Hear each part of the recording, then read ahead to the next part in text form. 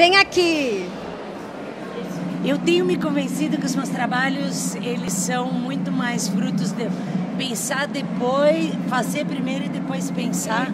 Por essas fotos todas, elas foram captadas com o mesmo processo. Na verdade, elas são uma série bastante grande que chama Cinema Parado, aonde eu me desloco em meios de transporte é, que me levam como se fossem o meu traveling e fotografo 16 imagens num mesmo quadro.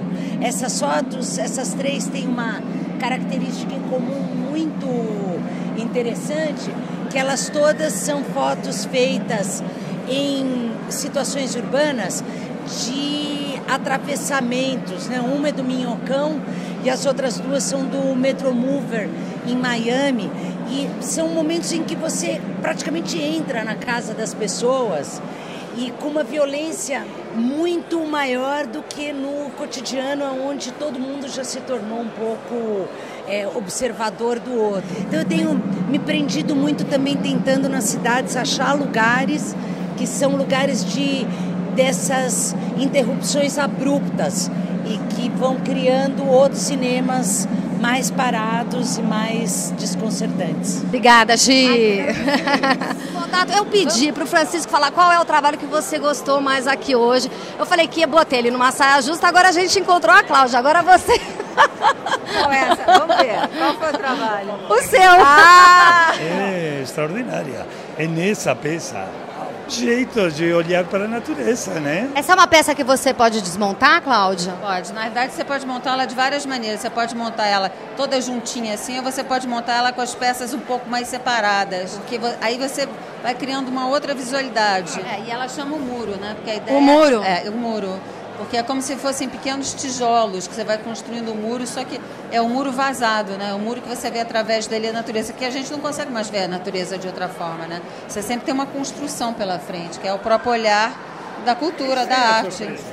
A gente tem a honra aqui de estar falando com o Neville e ele vai falar um pouco em primeira mão do trabalho que está presente aqui na galeria. Nós estamos com a obra aqui que é a Cosmococa, programa em progress, quase cinema, e é a número um, a primeira que foi feita. A gente, quando fez essa obra, demos o nome de Intervenção Espacial. E uns 10 anos depois, no princípio dos anos 80, veio o nome de instalação. E o que, que, você acha desse nome instalação, Neville? Eu acho que o nome.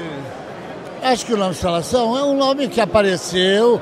Eu gosto mais do intervenção espacial, que é o que a gente fez.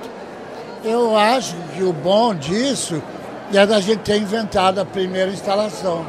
Eu acho que isso é que é importante.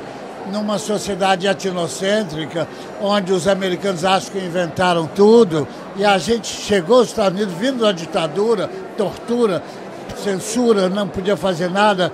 Então a gente tinha uma ânsia de liberdade muito maior do que os americanos os americanos ainda estavam na pop art. Andy Warhol estava fazendo o silk screen. Para nós, silk screen era coisa de jardim da infância. Vamos entrar no trabalho, Neville? Vamos lá dar uma Bora olhada. lá dar uma olhada. A gente está com o Neville vendo Neville.